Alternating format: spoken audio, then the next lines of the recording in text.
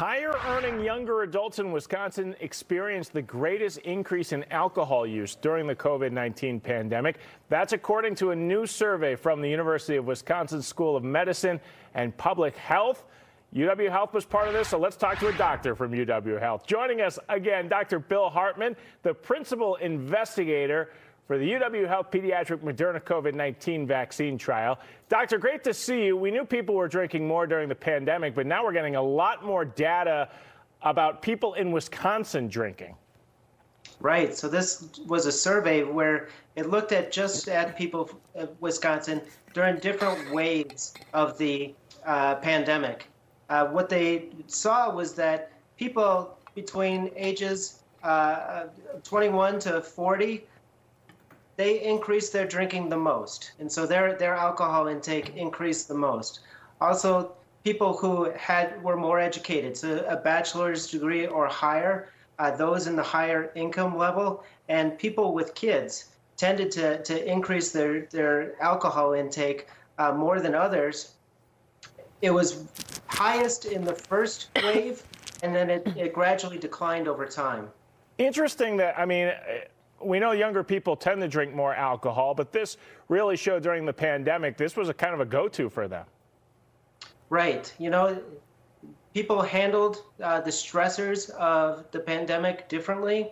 Uh, younger people, uh, apparently, younger people in Wisconsin tended to to drink more to deal with uh, to deal with the stress of the pandemic, the stress of uh, having to, to to be home to to work, the stress of uh, having their kids home and, and, having to teach them how to use uh, online curriculum, uh, learning curriculums. And so all of these stressors, all of these things uh, added up to the fact that people uh, drank more uh, during the pandemic, especially early on.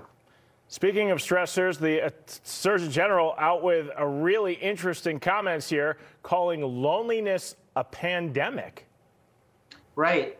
And so the, the Surgeon General obviously concerned with with loneliness. And, and before the pandemic even started one out of every two people one out of every two adults in the united states described themselves as being lonely. This was obviously made uh, worse during the pandemic when we were isolated from from friends and family.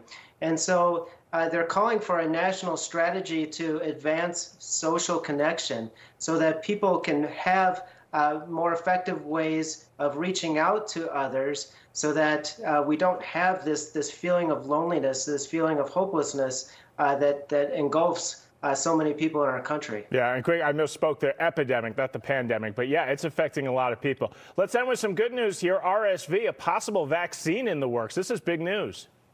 Yeah, so the, the FDA has approved the first of the uh, RSV vaccines. Uh, this is important because RSV is uh, a virus that puts 60 to 160,000 people over the age of 60 into the hospitals every year, uh, killing 10% of them. And so it's approved uh, by the FDA for people over 60 uh, as, a, as a vaccine to help prevent the serious complications that can happen from RSV. 82% of the time, it was able to block lower uh, respiratory infections, and 95% of the time it was able to uh, protect against severe disease and hospitalization uh, from, from RSV. So it could potentially save a lot of lives, something we'll be watching closely. Dr. Bill Hartman, appreciate your time. Thanks for joining us. Thank you. Let's take a live look outside right now. Traffic flowing right there. Beautiful out today wonderful day to be uh, on a run, Ben, right? Not inside in a studio. This is the day. It's